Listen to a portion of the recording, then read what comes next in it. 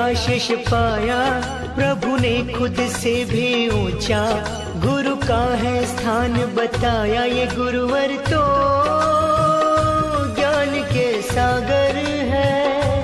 इनसे ही